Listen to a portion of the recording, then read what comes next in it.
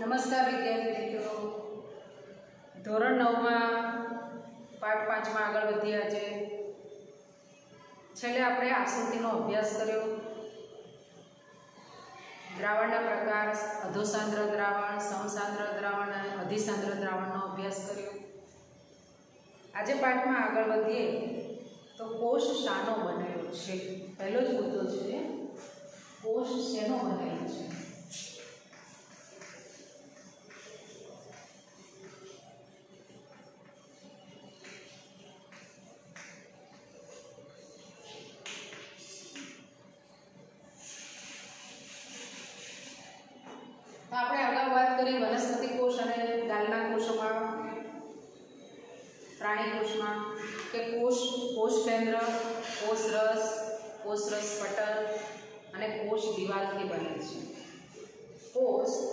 ત્રણ ભાગથી બને છે.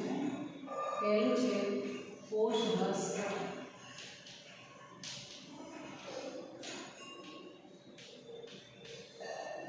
કોષ રસ અર્ધ પ્રવેશશીલ પટલ જેવું કાર્ય કરે છે. તે પદાર્થોને અંદર દાખલ થવા દે છે અને પદાર્થોને અંદરથી બહાર પણ નીકળવા દે છે. હમણાં આપણે વાત કરી અર્ધ પ્રવેશશીલ પટલ. પદાર્થોને અંદર દાખલ પણ થવા દે ને અંદરના પદાર્થોને બહાર પણ ખેંચી લાવે તો કોષરસ પટલ તે દ્રવ્યોની આપલે કરે છે. કોષરસ પટલનું કાર્ય શું છે? પહેલાં શેનો શેનો બનેલો છે? એની વાત કરીએ તો કોષરસ પટલ કોષ કેન્દ્ર, અને ત્રીજું છે કોષરસ ત્રણ ભાગમાં બનેલો છે. અને અમુક કિસ્સામાં કોષ દિવાલ આવેલી છે. અમુક જગ્યાએ કોષ દિવાલ આવેલી અમુક જગ્યાએ કોષ દિવાલ જોવા મળતી નથી.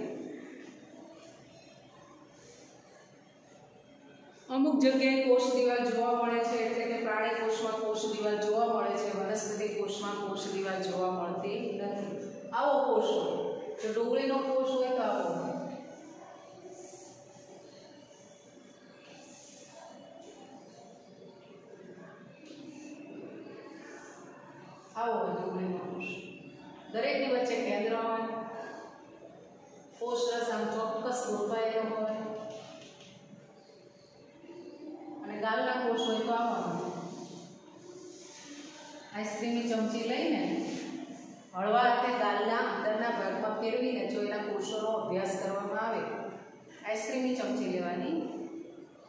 બહાર દઈને એને ગાલની અંદર નહીં ફેરવવાની. ગાલ અંદરથી પાણીમાં પલળી પલળીને ઢીલો પડી ગયેલો હોય છે આપણો ગાલ, આ ગાલમાં અંદરની સાઈડ જો આઈસ્ક્રીમની ચમચી ફેરવીએ અને જે ચામડીનું પાતળું પડ આવે અંદર, જે થોડા કોષો આવે, એને જો આપણે સૂક્ષ્મદર્શક યંત્રની નીચે જોઈએ તો તે આવા દેખાય છે.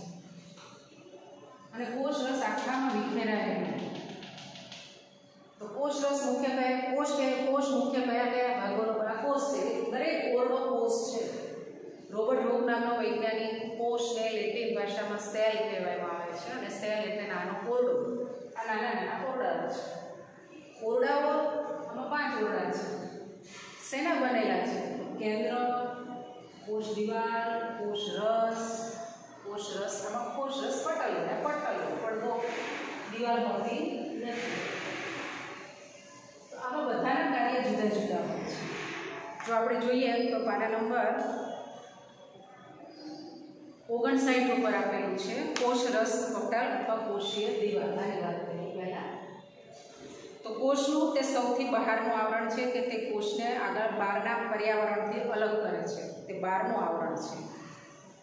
આ છે કોષ રસ પટલ. તે બહારનું આવરણ છે. પહેલું. બીજું. તે બીજાથી તેને અલગ કરી નાખે છે. પછી ત્રીજું. બાહ્ય પર્યાવરણથી અલગ કરી નાખે છે. બીજા બધા પદાર્થોથી તેને અલગ કરી નાખે. આપણા ક્લાસમાં હું ઊભી છું, તો આ ચાર દિવાલ આવેલી છે એટલે મને આજુબાજુના વાતાવરણથી અલગ કરી દે છે.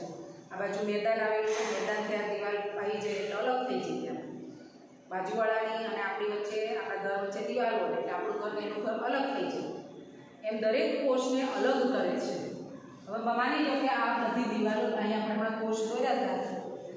આ આવા કોષો દોર્યા હતા. માની લો કે આ પડતો જ ના હોય તો શું થાય? આ પડતો ના હોય. તો શું થાય? તો બધું એકબીજામાં ભળી જાય. અલગ પડે નહીં. આમ બધાને અલગ પાડવા પડે. નાના નાના રૂમ બનાવવા પડે. તો એને બધાને એકબીજાથી અલગ પડે છે અને કેટલાક દ્રવ્યોને અંદર પ્રવેશ આપવાની તેમજ બહાર નીકળવાની મંજૂરી આપે છે. દ્રવ્યોને મંજૂરી આપે. આપણી સોસાયટીમાં વોચમેન બેઠો હોય ને, એ સોસાયટીના વોચમેન આપણને બધાને ચેક કરી કરીને અંદર આવવા દે, બહાર નીકળવા દે. રાત્રે ખાસ ચેકિંગ થાય. તો આવી રીતે કોષમાં કંઈક દાખલ થતું હોય, કંઈક બહાર નીકળતું હોય, તો તેમ બહાર જવાની, અંદર જવાની મંજૂરી આપે. મોટા મોટા મોલમાં જઈએ તો ત્યાં પણ બાર વોચમેન બેઠા હોય સિક્યુરિટીવાળા બેઠા હોય, અમુકના અંદર જવા દે, એવા લાગે અને ના પણ જવા દે. કેટલાક દ્રવ્યોની ગતિશીલતાને અવરોધે, ઘણાને ના પણ જવા દે. અવરોધે એટલે ઘણાને અંદર પ્રવેશવાની છૂટ ના મળે. આથી કોષરસ પટલને પસંદગીમાન પ્રવેશશીલ પટલ કહેવામાં આવે છે. પસંદ કરી કરીને અંદર જવા દે. એટલે એને કેવો પટલ કહેવામાં આવે છે? પસંદગીમાન પટલ કહેવામાં પસંદ કરીને જવા દે પસંદગીમાન પટલ કહેવામાં પસંદ કરી કરીને અંદર જવા દેશે કેટલાક દ્રવ્યોની આપલે કરે વાયુઓની આપલે કરે, કેટલાક દ્રવ્યો પટલમાંથી બહાર જાય, અંદર જાય, વાયુઓમાં કાર્બન ડાયોક્સાઇડ અને ઓક્સિજનની આપલે કરે, તો આ બધું જ કાર્ય કોણ કરે છે? કોષરસ પટલ. આથી કોષરસ પટલને પસંદગીમાન પટલ કહેવામાં આવે છે. પસંદગીમાન પટલ.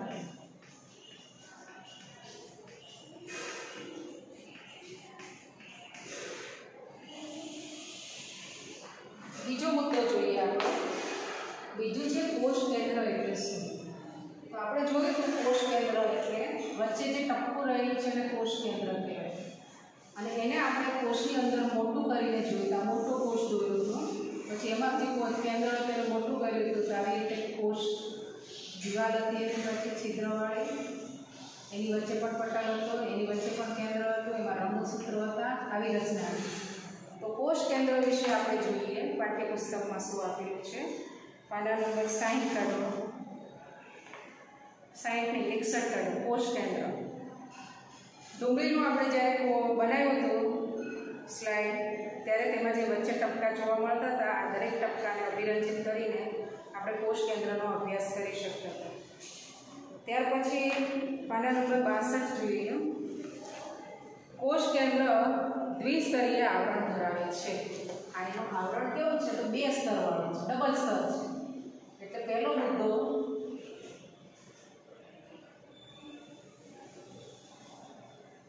દ્વિસ્તરીય આવરણ છે બે સ્તરવાળું આવરણ છે કોષ કેન્દ્ર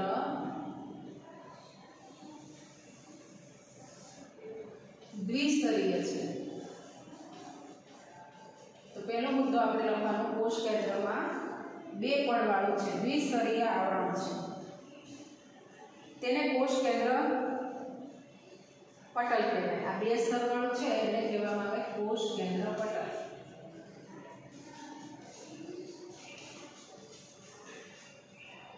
કોષ કેન્દ્ર પટલ છિદ્રો ધરાવે છે. આપણે વાત કરી ને, અહીંયા ક્યાંક ક્યાંક ક્યાંક ક્યાંક છિદ્ર હોય. તો કોષરસ પટલને છિદ્ર હોય.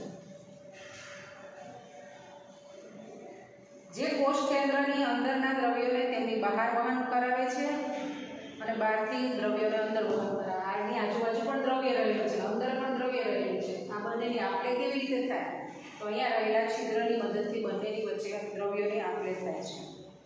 કોષ કેન્દ્ર રંગસૂત્ર ધરાવે છે. પછી આ જે ટાંકણા થયેલા હતા ને, એને રંગસૂત્ર કહેવાય. બીજું રંગસૂત્ર ધરાવે છે. અને રંગસૂત્ર કેવું હોય તો રંગસૂત્ર આવા આકારનું હોય.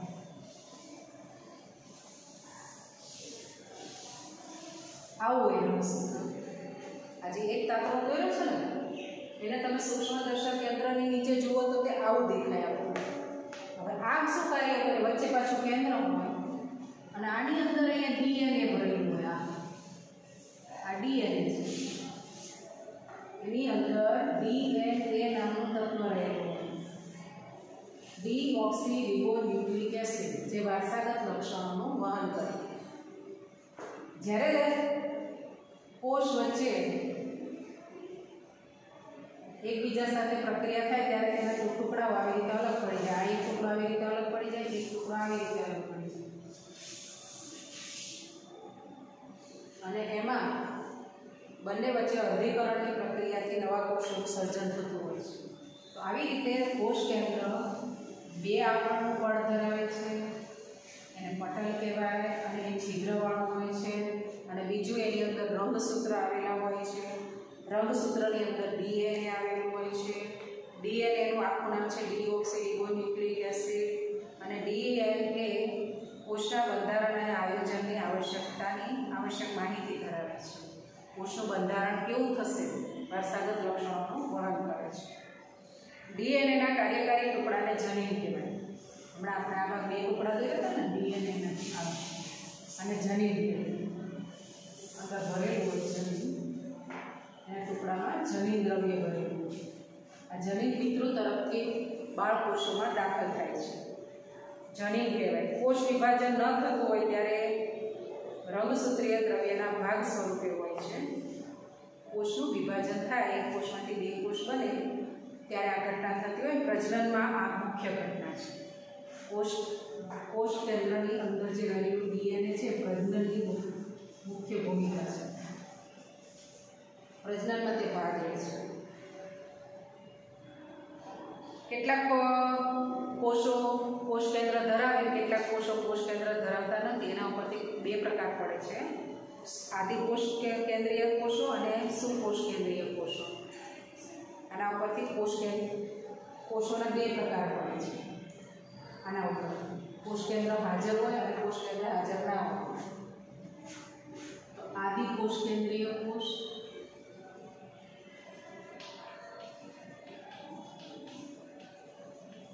એમાં કોષ કેન્દ્ર ના હોય. એમાં કોષ કેન્દ્ર ગેરહાજર.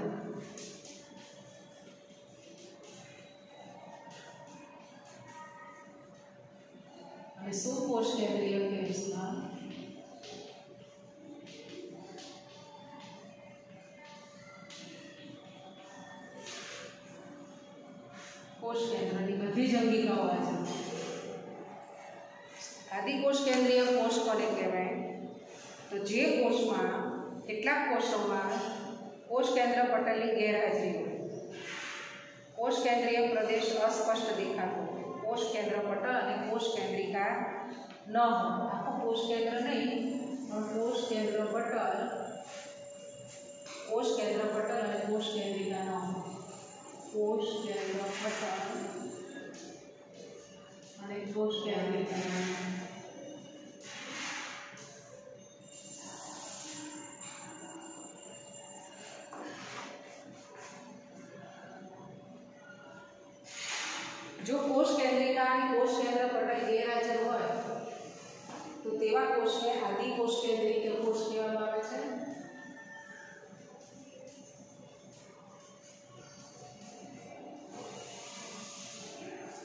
જો હાજર હોય, તો એને કહેવામાં આવે છે સુકોષ કેન્દ્રીય કોષ? આમાં હાજર હોય, અને ગેરહાજર, આમાં ગેરહાજર. આના ઉપરથી કોષના બે પ્રકાર પડે છે આદિકોષ કેન્દ્રીય કોષ અને સુકોષી કોષ કેન્દ્રીય કોષ. ત્યાર પછી ત્રીજો મુદ્દો છે કોષ રસ એટલે તો કોષ રસ એક પ્રવાહી છે મુખ્યત્વે પ્રવાહી છે. અને તેની અંદર કેટલીક અંગિકાઓ આવેલી છે. કોષ રસ કોષમાં રહેલું પ્રવાહી છે. તેની અંદર કેટલીક અંગિકાઓ આવેલી છે. એમાં પહેલી છે અંગિકા અંતરરસજાળ આપણે લીધી હતી અંતરરસજાળ પછી રિબોસોમ્સ બીજી અંગિકા હતી રિબોસોમ્સ ક્યાં આવેલી હોય અંતરરસજાળ ઝાડ આવી રીતે કોષ દોર્યો હતો. એની અંદર વચ્ચે કેન્દ્ર હતું, અહીં કેન્દ્ર માટે કાણા હોય, ત્યાં આવી જાળી આવી. આવી જાળીને શું કહેવામાં આવે છે? અંતરરસ ઝાડ અને એની ઉપર કણિકાઓ ચોંટેલી હોય આવી. અહીંયા કણિકાઓ ચોંટેલી. એને કહેવામાં આવે રિબોઝોમ્સ આ બધું ક્યાં આવેલું છે? કોષ રસની અંદર પછી ત્રીજું ગોલજી પ્રસાધન આવેલું ગોલગી કહેવાય ગોલગી અને અથવા ગોલજી પ્રસાધન ચોથું લાઇસોઝોમ આવેલા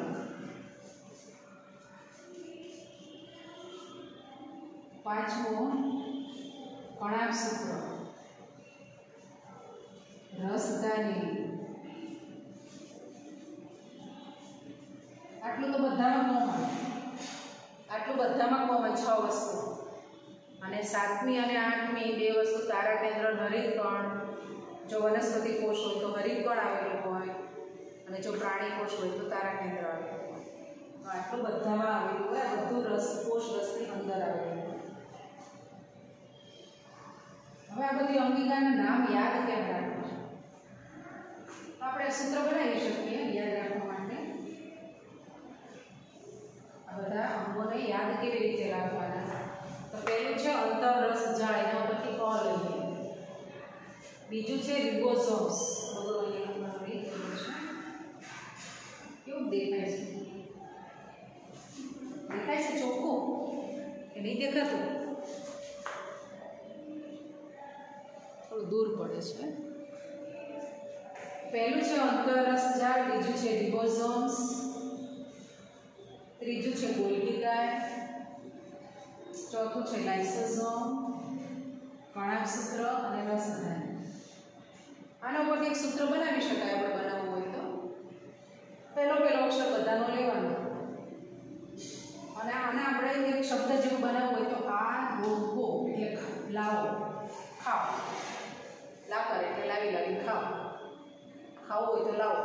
વસ્તુ કોઈ ખાવી હોય તો લાવો.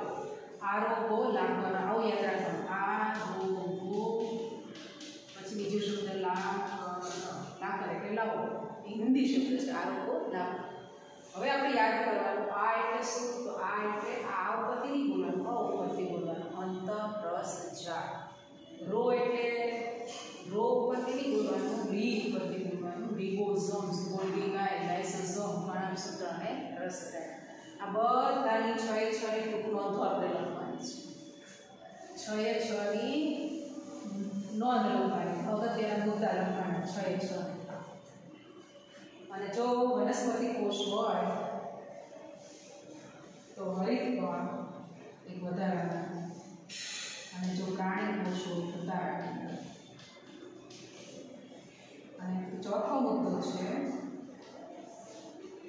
કોષ દિવાલ કોષ દિવાલ શું કાર્ય કરે? તો કોષ દિવાલ ચોક્કસ આકાર આપે કોષને પહેલું ચોક્કસ આકાર આપે બીજું મજબૂતાઈ આપે એનાથી કોષ મજબૂત બને મજબૂતાઈ આપે ત્રીજું કોષ દિવાલ સેલ્યુલોઝની બનેલી હોય કોષ દિવાલ શેની બનેલી હોય છે સેલ્યુલોઝની બનેલી હોય તો કોષ દિવાલની વાત કરીએ કોષીય અંગિકાની વાત કર્યા પછી કોષ દિવાલની વાત કરીએ.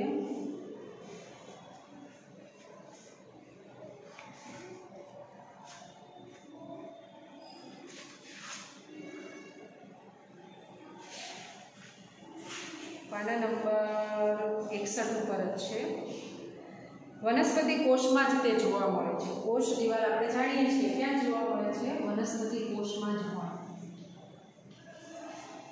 એકસઠ ઉપર છે. ફક્ત વનસ્પતિ કોષમાં જ હોય. કોષ દિવાલ.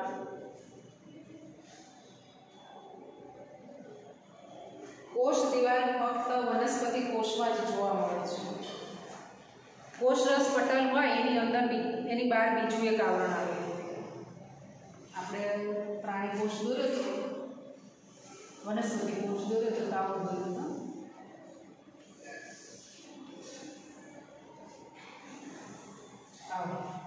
અને આની અંદર એક પડ આવેલું આ પડને કહેવાય કોષરસ પટલ અને બહાર જે આવરણ છે એને કહેવાય કોષ દિવાલ તો વનસ્પતિ કોષમાં જ તે હોય છે, બહારની બાજુ આવેલું હોય છે વધારાનું વરણ આવરણ હોય છે.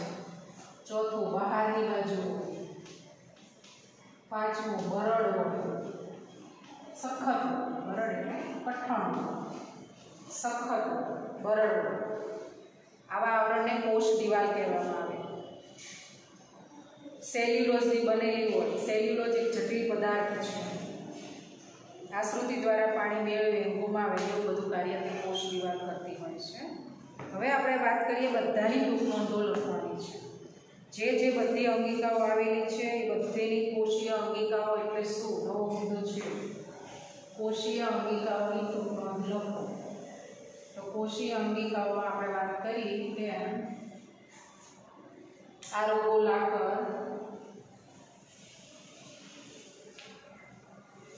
આ રોગો લાકર તો પહેલું છે આ. સૂત્ર છે આરોગો લાકર એટલે પહેલું. અંતરરસ ઝાડ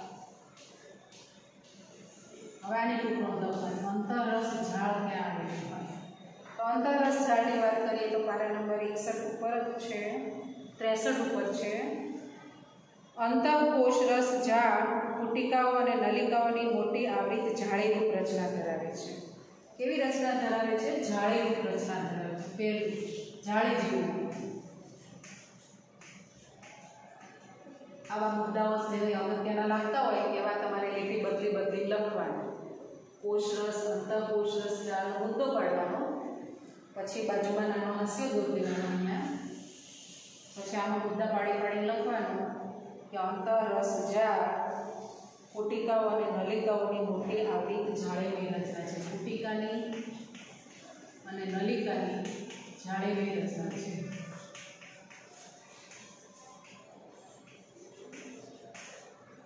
પછી બીજું લખવાનું લીટી બદલી નાખવાની રચના છે. બરાબર? આવી રીતે લીટીઓ બદલી બદલી લખવાની. તે લાંબી નલિકામય ગોળાકાર અથવા કોથળી જેવી રચના ધરાવે છે. તે કેવી હોય? લાંબી હોય. નળીઓ વાળી હોય નલિકામય લાંબી હોય નલિકામય હોય અથવા ગોળાકાર હોય. અમુક અમુક ગોળે હોય અને અમુક અમુક કોથળી જેવી હોય. કોથળી જેવી રચના ધરાવે છે.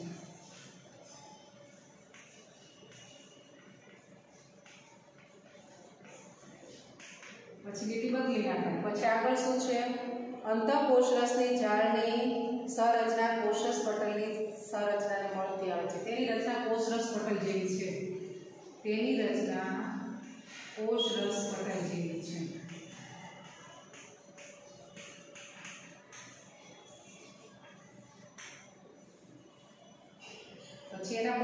પછીનો આપણે આગળ વાંચતા જવાનું, લખતા જવાનું. અંતઃકોષરસ ઝાડ બે પ્રકારની હોય. અમુક અમુક ખરબચડી હોય, જેને કણિકામય કોષરસ એના પ્રકાર. કોષરસ અંતઃકોષરસ ઝાડના પ્રકાર. તેના પ્રકાર બે છે. પહેલું, ખરબચડી, અંતરસ ઝાડ અને બીજું લીસી અંતરસ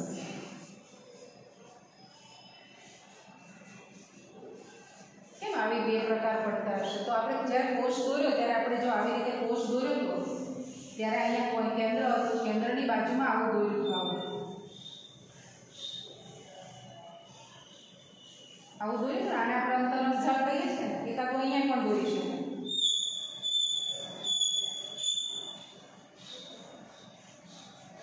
અહીંયા પણ દોરી શકાય હવે આની ઉપર ક્યાંક ક્યાંક ક્યાંક ક્યાંક રિબોઝોમ્સ ચોટેલા હતા ક્યાંક જો હોય ક્યાંક ના હોય ક્યાંક હોય ક્યાંક ના હોય જેની ઉપર રિબોઝોમ્સ સોટેલા હોય ખરબચડો બની જાય, કણીવાળું બની જાય. એટલે ખરબચડી રસદાર કહેવાય રફ કહેવાય રફ. અને આને લીસી સ્મૂથ કહેવાય.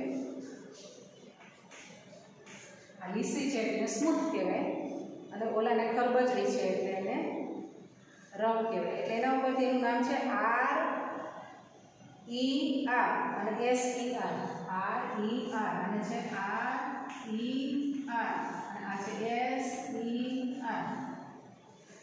એના નામ છે બે જુદા જુદા જેના ઉપર રિબોઝોમ્સ ચોટેલા હોય એને ખરબચડી કહેવાય. જેના ઉપર રિબોઝોમ્સ ના ચોટેલા હોય એને લીસી અંતરસ ચાલતો તો એ લખવાનું. કારણ કારણ કે તેની સપાટી પર કણો જેવી રચના હોય છે, જેને રિબોઝોમ્સ કહે છે. રિબોઝોમ્સ બધા સક્રિય કોષોમાં હાજર હોય છે, તે પ્રોટીન સંશ્લેષણનું કાર્ય કરે છે.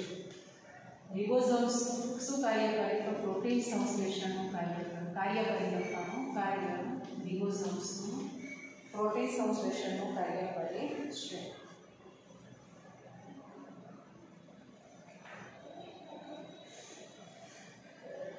ઈઆર દ્વારા નિર્માણ પામેલા પ્રોટીન્સને કોષમાં જરૂરિયાતને આધારે વિવિધ સ્થાનોમાં મોકલવામાં આવે છે. ચરબીના અણુ લિપિડ્સનું નિર્માણ કરે છે. આમાંના કેટલાક પ્રોટીન્સ અને લિપિડ્સ કોષરસના બંધારણમાં મદદરૂપ થાય છે. આ ક્રિયાને જૈવ સંશ્લેષણ કહે છે. પ્રોટીન્સ અને લિપિડને ઉત્સેચકો અને અંતઃસ્ત્રાવ તરીકે કાર્ય કરે છે. આવું બધું આપણે કાંઈ લખવાની જરૂર નથી. તો રિબોઝોમ્સનું કાર્ય શું છે? જેના ઉપર રિબોઝોમ્સ ચોટેલા હોય, રિબોઝોમ્સ વાળી અંતરરસ જાળને આર ઈ આર કહેવાય રફ અને રિબોઝમ્સ વગરની હોય.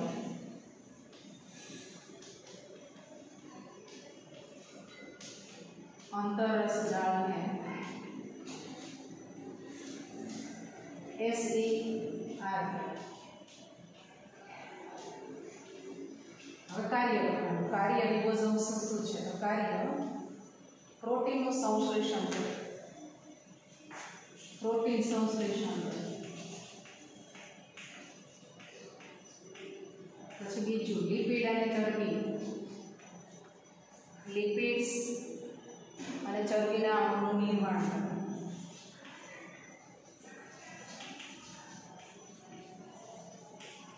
આવી રીતે તમારે બધી ટૂંકમાં લખવાનું મુદ્દો પાડવાનો અને આટલા આવી રીતે જેટલા મુદ્દા અંદર આવતા હોય એ આ રીતે લખવાનું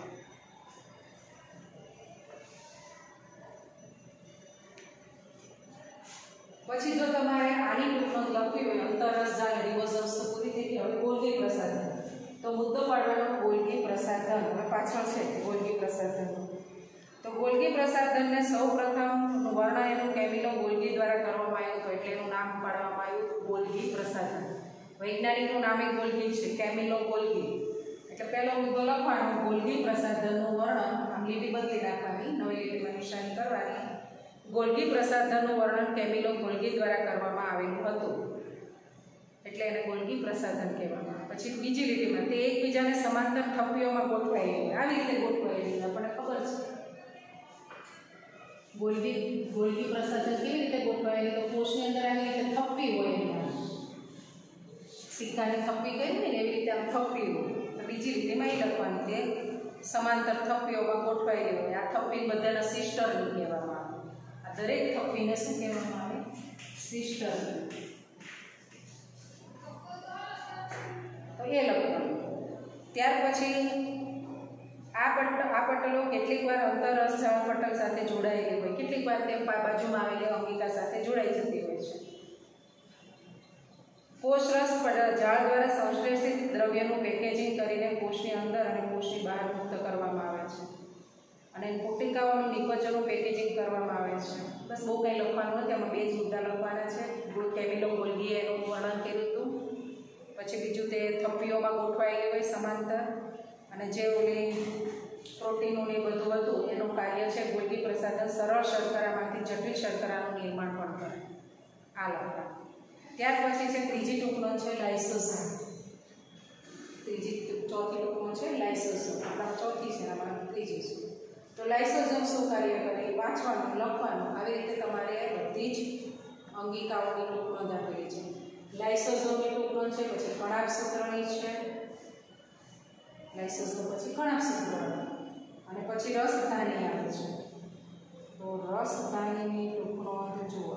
આ અહીંયા છે. રસધાની એવી રીતે રસધાની પછી હરિતકણ એટલે કે રંજક પણ લખવાનું. રંજક કણ શેમાં આવેલા હોય? વનસ્પતિ કોષમાં આવેલા હોય. અને છેલ્લું કોષ વિભાજન એટલે શું? તો એક કોષમાંથી બે કોષ બનવાની ક્રિયાને કોષ વિભાજન કહેવામાં આવે છે. શા માટે એક કોષમાંથી બે કોષ બનવા જોઈએ? તો કેટલાક જૂના કોષ થઈ જાય, કેટલાક કોષો મરી જાય, કેટલાકને આપણે ક્યાંક વાગી જાય, ચપ્પુ બપ્પુ વાગી જાય, ક્યાંક એક્સિડન્ટ થાય તો કોષો ઈજા પામે તો આવી રીતે જૂના થઈ જાય, કેટલાક ઘરડા થઈ જાય કોષો. આયુષ્યનું પૂરું થઈ જાય. કેટલાક મરી જાય કોષો અને કેટલાકની ઈજા થાય, તો તેના સ્થાને નવા કોષો બનવા જોઈએ નહીં તો સજીવનું શરીર ટકી શકે નહીં. તો આવી આવી જગ્યાએ નવા કોષો બનવાની ક્રિયાને કોષ વિભાજન કહેવામાં આવે છે. નવો મુદ્દો છે કોષ વિભાજન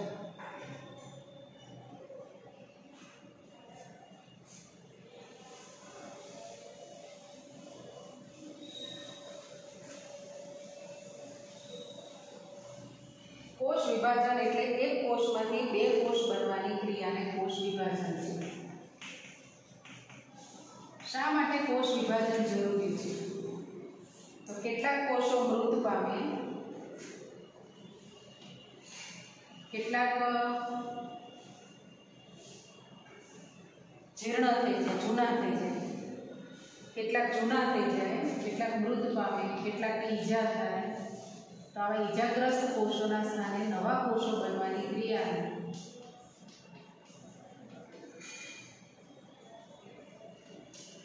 કોષ વિભાજન કહેવાય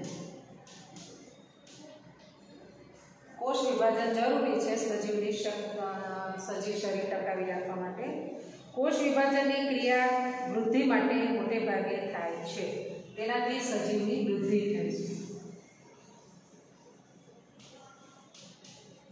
કોષ વિભાજન થાય એટલે કોષોની સંખ્યા વધતી જાય એટલે વિભાજનથી એની વૃદ્ધિ થાય. માતૃકોષ વિભાજનથી બે સમાન બાળકોષોનું નિર્માણ વૃદ્ધિ થાય, બાળકોષો બને.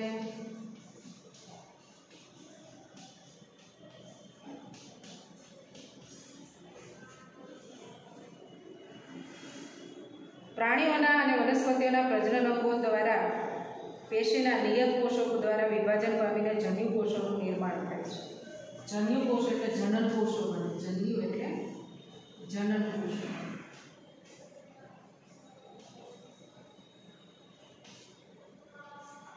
અને બાળ સજીવો તૈયાર થાય છે.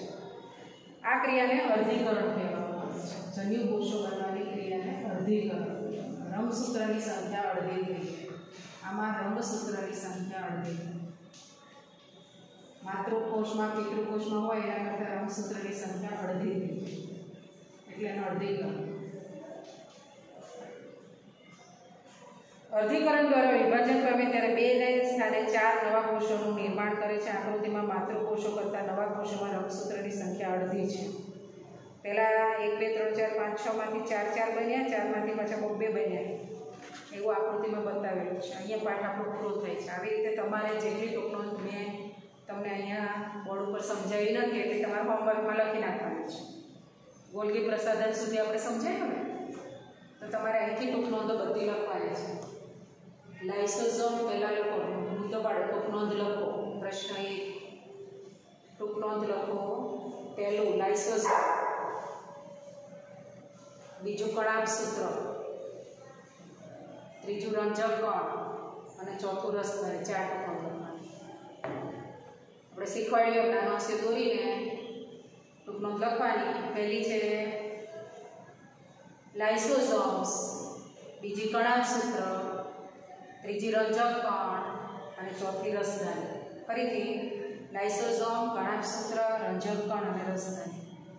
આ ચાર ટુકડો આજે હોમવર્કમાં લખવાની રહેશે. નમસ્કાર. અહીંયા પાઠ આપણો પૂરો થાય છે. નવા પાઠ સાથે આપણે મળીશું. હોમવર્ક દરેક લેક્ચરનું કરી લેવાનું છે. ચાર લેક્ચરમાં પાઠ પૂરો થયો. એટલે ચારે ચાર લેક્ચરનું હોમવર્ક કરી લેવાનું, તારીખ પ્રમાણે કરવાનું, એક હોમવર્ક પૂરું થાય એટલે આડી લીટી દોરી દેવાની અને નાનો હાસ્ય દોરીને જ લેસન કરવાનું રહેશે. નમસ્કાર.